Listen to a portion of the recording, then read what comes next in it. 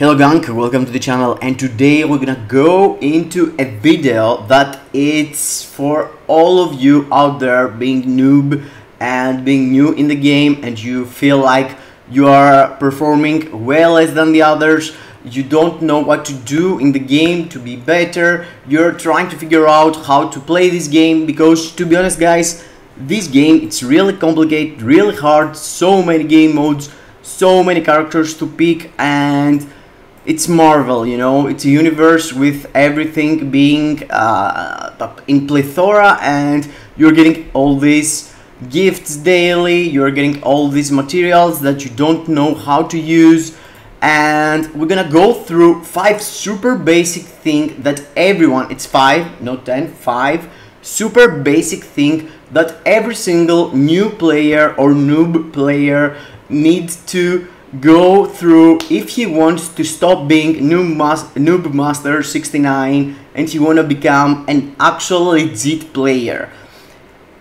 Yeah it's easy to say that yeah you are vip 15 and i'm vip 0 that's why you play the game and it's easier for you. But yeah this has to do for a small percentage but generally it's up to you to be better and all this video uh, all this idea it's super inspired and inspired specifically from a dude in my discord last three weeks asking for every single piece of beep. We have tell him everything. We are trying to explain him how to play the game and he can't really understand. So he's good. He, he's a good boy. I'm helping him with uh, gbr his name is mist and I'm, I, am i am trying to help him daily with the GBR carries and all this stuff but every single time he's asking something really weird. And here I put five really really important things I want to communicate with him and with the DMs and the chat in the Discord. It's really hard but it's also for all of you out there that wanna get help in the game. Start from these five and you're gonna be fine after this Believe me, 100% legit player. So, before we go through all the things I want to tell you, make sure that you have smashed the like button, subscribe to the channel, and let me know down below in the comments if you knew all these five or you just find out something really really weird and you, you never heard about that before. So, let's go into that breakdown. Number one and one of the most important things that you need to pay attention it's your character stats. The character stats, you, if you want to figure out the stats, you need to go through here, press the details, and here it's the stats. Stats is statistics, what his uh, abilities looks like. The first thing you need to pay attention it's this thing here. This thing here you can see from here and it's physical attack. For this specific character, the attack for every single character as the first stat is uh, here and you can see if he is working with physical attack or energy attack. There are examples out there using uh, energy attack like it's Storm let's say. You can see here, Storm needs energy attack to perform and do damage. Your Captain America needs physical attack you can figure out that because most of the times the physical attack it's way the, the stat that one also you know if you have high physical attack on the character means that your character uses physical attack but in the first page is way easier. After the attack stat which is the most important stat and you can get it from multiple ways like it's uh, your ISO set you know you have ISOs that gives you specific stats as this thing here gives me all basic attack, all basic attack, all basic attack, all basic attack. Uh, this one uh, works for, uh, you know, for energy attack and physical attack, but something like Urus are working only one way. So you need to equip on this character physical attack to increase his physical attack. Other than attack, the second and third and fourth really important stats is ignore defense, you wanna be capped at 50% at every cost and the next one it's reduce cooldown duration and the next one is attack speed. Other than these three stats the rest of the stats in this it's not really important. It's important only if you use specific CTPs if you wanna play at the very end game. But if you don't have 50% ignore defense and 50% reduce cooldown, you are playing the game wrong. You can't perform in the game. You're seeing videos from people using their skills like that, and that's because they're using the skills with 50% cooldown. If you use your skills with more cooldown, with less cooldown than this, you're gonna press the skill, and skill need some time to, you know, go through the cooldown. So you need 100% having 50% reduce cooldown and ignore defense. Ignore defense does the boss actually take damage. If you don't have ignore defense, the defenses of the enemies in PvP and PvE is going to be there as they are. So, as an example, my defenses here, physical defense and energy defense, it's 60, 60 uh, 26,000 uh, uh, as you can see. If I'm playing against someone that has 50% ignore defense, my defense is gonna go through his ignore defense so he gonna hit me way harder than when I have 26,000 I'm gonna be like having 13,000 uh, 13 uh, 13,000 right? Yeah 13,000 so the point here is that without 50% ignore defense it's not exactly the numbers. Of course perhaps in world boss it's different but 100% without 50% ignore defense, you can't kill any world boss in the game. The dude was struggling killing uh, Knull and I was trying to explain this thing too. Other than ignore defense and cooldown, I told you it's attack speed. Attack speed makes your character cast actually the speed that you are using the skill. So when you're pressing your fourth skill, your character is gonna do some movement the movement, if you have like no attack speed at all and you are at 100, when you do your skills, it's gonna be like like that slow. With 130% is what you are seeing other use and YouTubers and the score in ABX and the characters do that.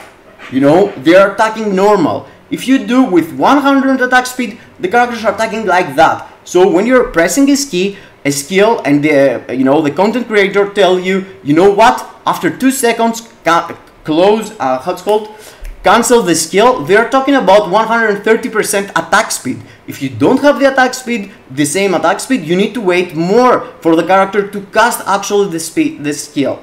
The rest of the stats critical rate critical damage dodge hp it's you know more specific and you don't need to know about that but what you need to know, it's 100% having the stats I have here, 50%, 50%, 130%. And where you gonna find these stats? You're gonna find them from the Urus I told you, from the ISO set. Your ISO set provides you big numbers of ignore defense, cooldown, and most of the times some extra attack or something. Other than that, it's from uh, your uh, custom gear, but we're gonna talk about that later. Also, from your uniform option, your uniform option most of the times can give you useful stats that makes you cap, as you can see here, I'm using skill cooldown on this one to help me cap my skill cooldown. And after that, the things that affects all your account, it's like cards and swords. So your cards needs to have as a at the end of the day something like 25% 20 25% to 35% ignore uh, cooldown duration and 30% ignore defense. This is the minimum you should have if you don't have any cooldown from your swords. So you wanna find out and have some cards that gonna boost your ignore defense and skill cooldown so your characters are easier to cap to 50% if you are not there with your cards, you wanna go into your swords and see if you can find yourself some cooldown, like I have here. Cooldown duration 2.7. This 2.7 adds up with the other you have from your swords and at the end of the day you can end uh, you look at this it's 3.2 so it's already 5.5% cooldown if you're gonna see most of the characters already have their shelves uh, 10 to 20 you're adding the cards, you're adding your swords, you're adding the ISO set, you're adding the Urus, and then you have a character that actually play the game at the normal mode every other is playing the game right now. of course, as I told you, you can say again that if you are uh, a whale and you spend, you can go through real easy. Yes, but you need to go and focus on the stats you need in the game. Pierce, it's the end stat that if you have everything perfect, you, you care about your 25% Pierce. If you want a max score, if you want to complete uh, everything really fast, you go for Pierce. Other than that, you don't need your Pierce you don't need Pierce in the start of your account to perform. You just need the 50% ignore defense, 50% cooldown, and the attack speed that helps you a ton. So that was the first one and really important. So let's go to the second one. The second and one of the most important also is how you play the game and what characters are you using on the teams. The team up that you are going to pick up it's the, one of the most important things in the game. One proper team, let's set as example, it's this one. I am using this team to farm rifts and what this team has as a, really, you know, as an important thing to mention and for you to make it understand what I'm talking about. There is three different parts on the team. Netmarble has done something cool on that and they're letting you select characters that are supports, attack, uh, leaders or damage dealers. And that's the three categories that you need to know about. Leader, support and damage dealer. In this case, my leader here it's Nicholas Fury. And for leadership, you want at least for we're talking about PvE, player versus environment, and that makes you understand that it's the the modes that you're playing Rifts, ABX, ABL, auto clears, uh, World Boss Legend, GBR, all the things that you're going against uh, non-human beings, you know. So here, the lead is this thing here. It says leader, and that means when you're using the character in the middle of the team up. When you use a character in the middle of the team up, he is the leader. When your character, this specific character is leader, provides 60% basic attack by all to all characters. So in this case, because he's giving basic attack, doesn't really matter who you're gonna give the basic attack to. But in some other cases, there is characters that provide specific stats, like Ebony Maw here. Ebony Maw, it's a leader for energy attack. So you can't use your Ebony Maw with characters having physical attack as the main stat I'm mentioning before.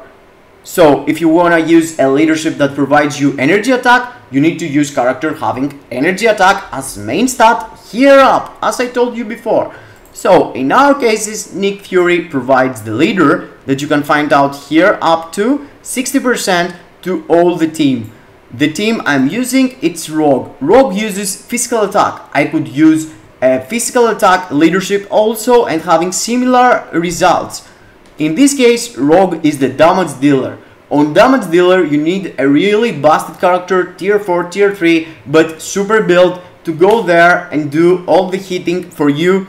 While Nick Fury is the leader, Coulson has to be the support character.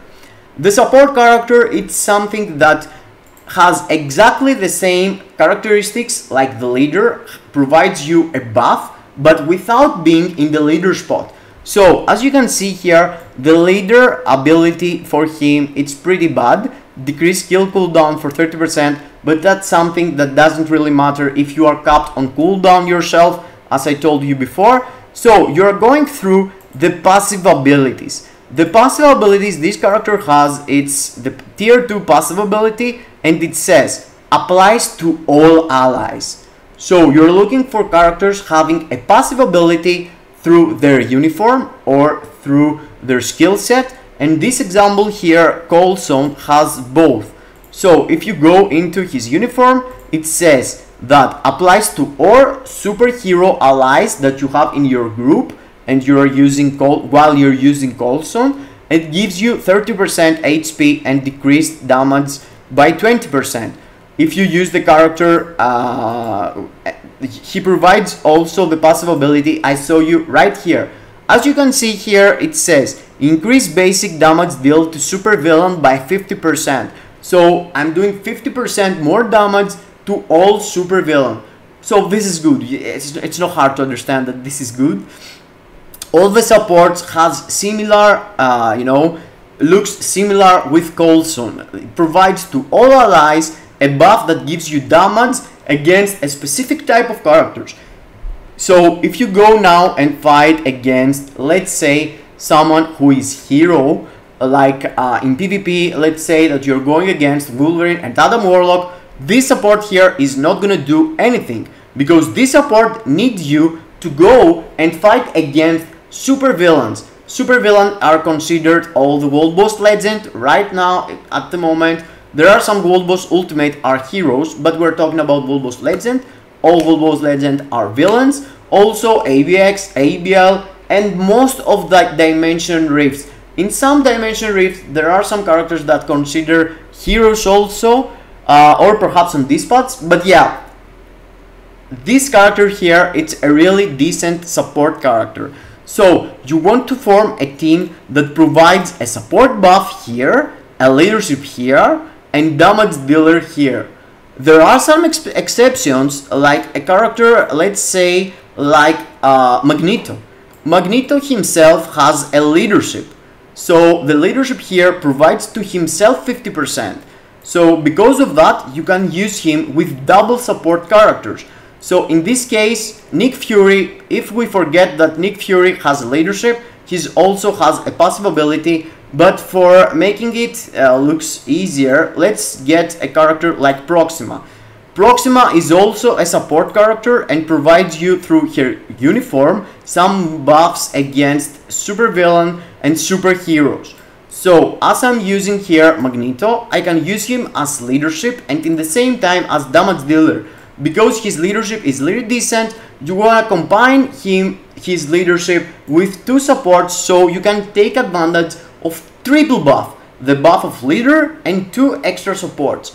So the way you are building the team up for PvE specific and PvP is really important for the outcome of the result when you're going against a world boss legend, when you are going against to do anything in the game. So you need to care about what buffs and what every single character provides to you.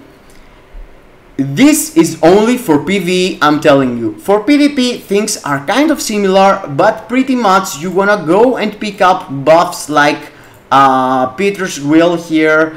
Uh, it's not, no, this is still for, yeah, Peter's Will here, this is one. Decreased damage, uh, uh, decreased damage taken from super supervillain superhero. This is the kind of support character you need for PvP, something to decrease the damage you're getting or increase the damage you're doing against heroes and villains. And for leadership, you need a character that has this line of text here. Remove all debuffs. If you don't have here, the enemy stun locks you, makes you being like this. In the whole fight, you're stunned there and looking at the enemy and you can't do shit. And this kind of leadership helps you cleanse your character, uh, dispel your character, say it however you want, but you, when you're stunned, you're getting unstunned, whatever. And without this, PvP is undoable. If you don't use leadership for every single aspect of PvP, you can't play PvP. For timeline battle, for alliance conquest, for other world battle, it's an exception because in other world battle there are not leaderships, but there are only passive abilities. So that's why in Otherworld Battle you wanna get some passive ability character like Colossus, like Wasp. Wasp cleans all the team and Stryfe. There, there is some characters that have the leadership as a passive ability. So pretty much leadership support damage dealer or else you're busted, you're out. This is like the second most important in my opinion and let's go to the next one. Next one has to do with every single character specific one by one and has to do with obelisk. Obelisk is one of the most important things that you have in your characters. If you don't have an obelisk in your character, it's like playing, uh, it's actually an RPG. Obelisk, it's the weapon you are using against enemies. It's like playing an RPG game like World of Warcraft, Lineage or whatever without having a weapon you can't play it, right? You can't kill the enemies without a weapon. So every single time you're you are equipping a custom gear means that your character has the weapon. Without the weapon, your character can't perform. And this weapon has multiple ways to be, uh, you know, taking advantage of it.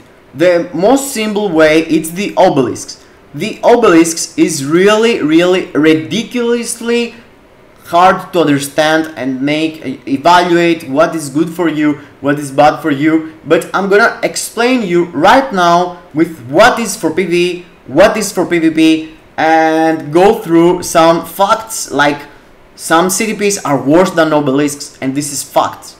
if you have this ctp do not equip it it's bad you don't want to equip this specific ctp and some other ctps the, the fact that you have a ctp doesn't mean that if you equip the CTP to the character, the character gonna perform better. You need to understand and know what you are doing using the weapons in the game. It's like using a shield for a character and trying to attack to the enemies with a shield.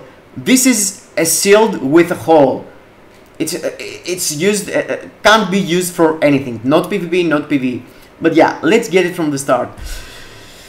Obelisk. Obelisk has a really, really nice thing which called invisible here. That is the proc, the, the thing that you need for PvP. That means for 3 seconds you, the enemy can't kill you.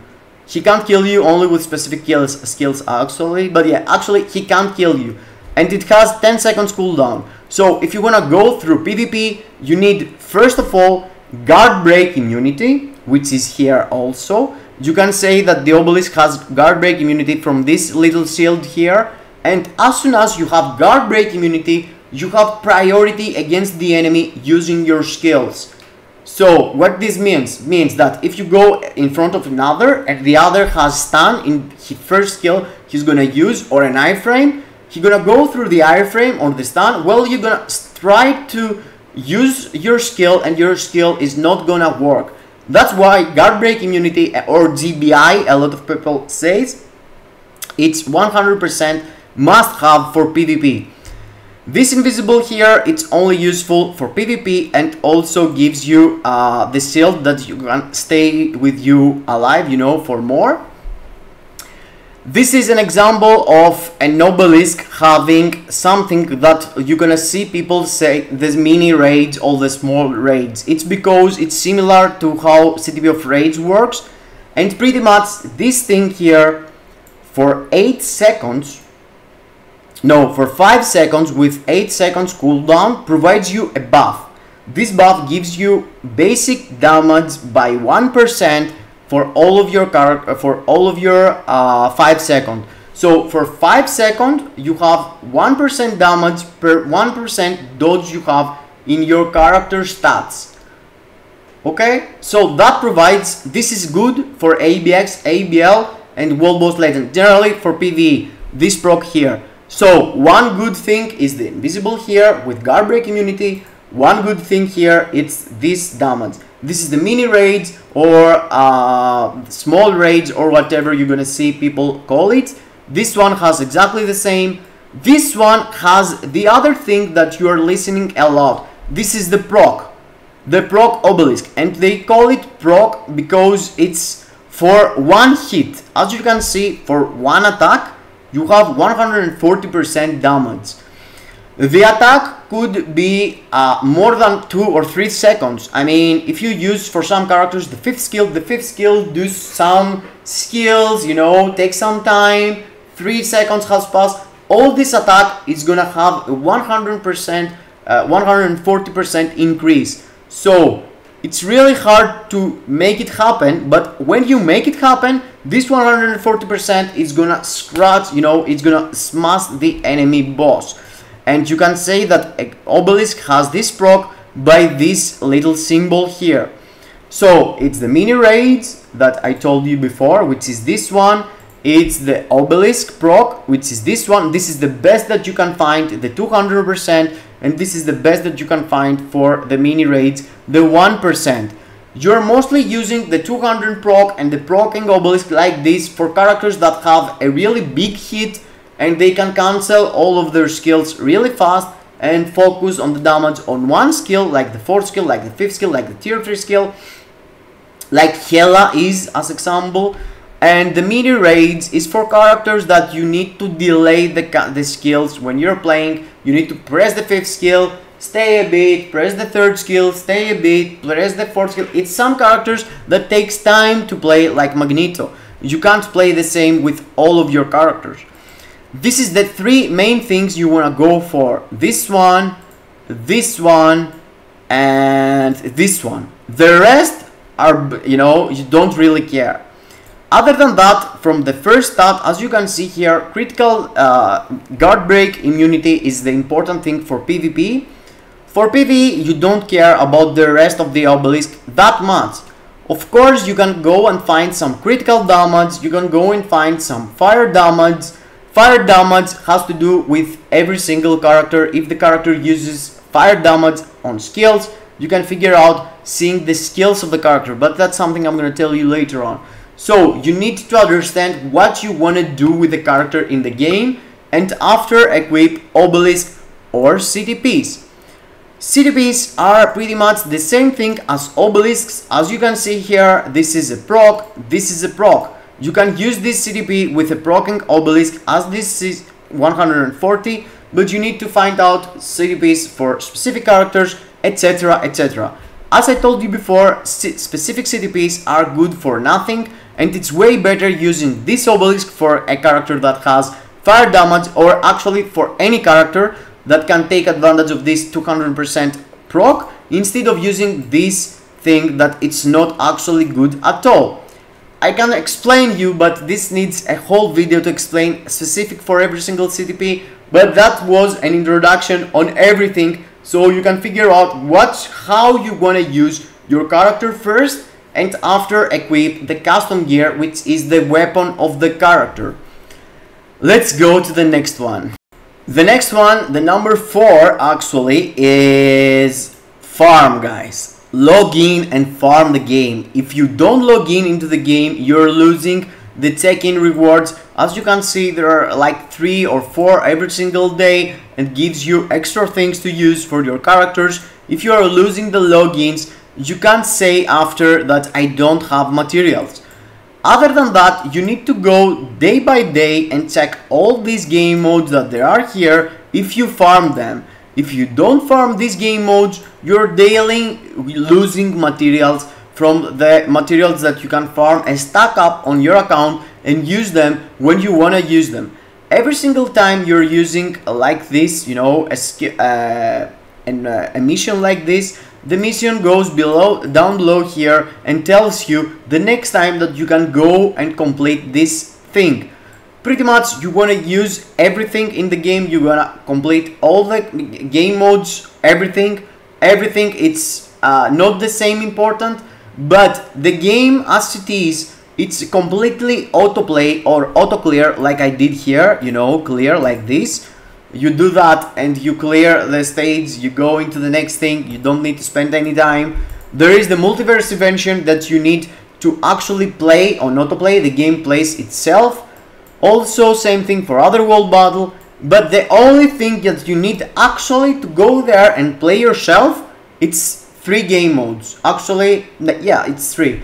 It's world boss that you need to actually play, alliance battle that you need actually play and also it's GBR. GBR is a game mode that it's not here, but it's like the same uh, the same important with Gold Boss, uh, uh, or else you know you can't farm the tier 4 materials. GBR it's really important, and the maximum rewards you could get here, it's something that you should farm daily.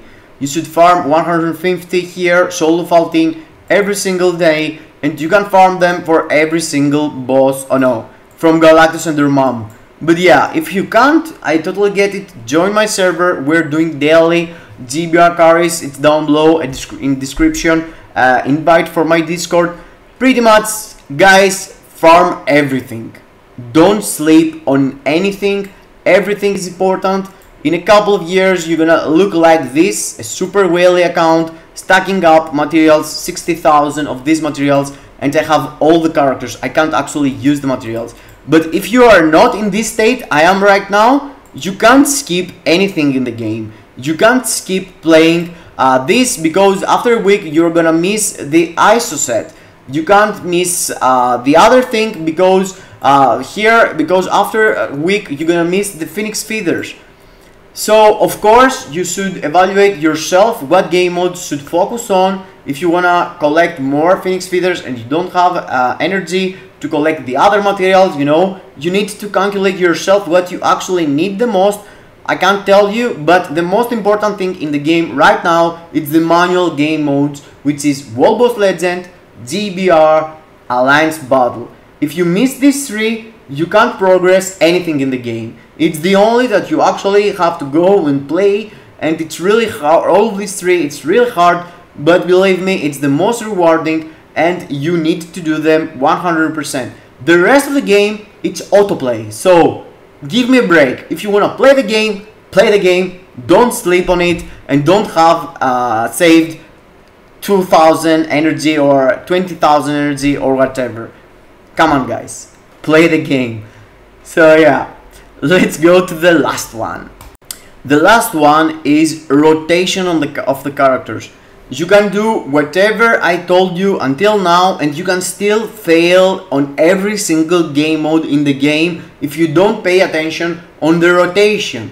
The rotation it's something really important and the, the game it's explaining it on this practice mode here but it's not 100% accurate. So what I'm talking about if you go through your character and you go 5, 4, 3, 2, 1, oh, I did all my skills. Why I'm not doing damage? Why my character is not doing, I used everything. What's going on? What's wrong? Yeah, the point of this game, it's not spamming your skills. It's not like if you have the skill out of cooldown, you need to press it and do something. You need to chill out, relax and see the process of a rotation. Here there is a review here for a reason. You need to place the fifth skill, third skill and after the fourth skill. As you can see I gave myself one second per time and this is something you need to do for every single character differently. It's really hard, I am struggling. I'm struggling, I'm making content for multiple characters, I'm playing daily with a whole roster of 260 characters.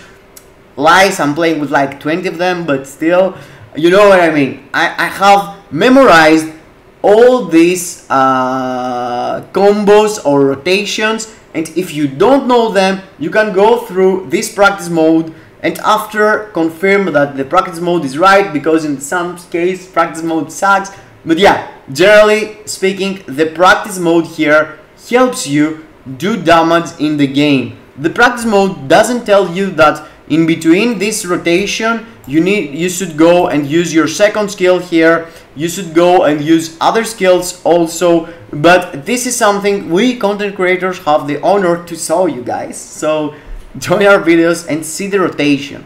If you play like a madman and you press all the skills like that, doesn't mean that you're doing it faster, you're gonna win, you know? This not gonna provide anything to you. You need to go slowly, skill by skill, evaluate this distance, the, the specific timing of the boss, where the boss is, can I hit the boss? You need to think legit you don't need to smash your keyboard or your phone to play uh, it's not gonna work of course you need to press the button fast but this is something completely different you need the rotation or else you can't perform on anything in the game there is multiple players telling me oh you bitch you told me to tier 4 Dr. Octopus and my Dr. Octopus tier 4 does not do anything with his awaken skill yeah, guys, Dr. Octopus shouldn't supposed to do any damage with his Awaken skill.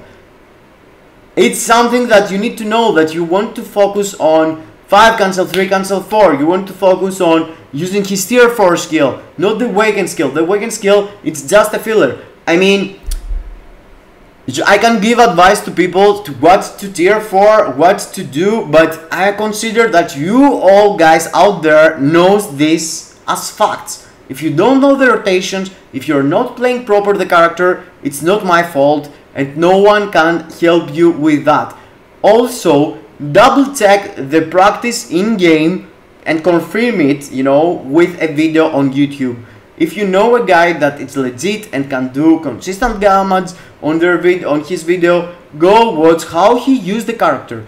Because if you see here the practice, you're seeing just the super combo, like the 5 cancel 3 cancel 4. In between you need to use the other skills. You can't go there and standing still like this until the 5 cancel 3 cancel 4 it's ready. You need to walk, you need to press your second skill. So the way you playing the character affects a lot the result for every single game mode. For PvP, for PvE, for everything. If you don't know what you're doing in a stage of World Boss Legend, you're pretty much gonna die in like couple of seconds. So you need to pay attention on tactics, on when you use your skills, and all this, it's really hard, really hard.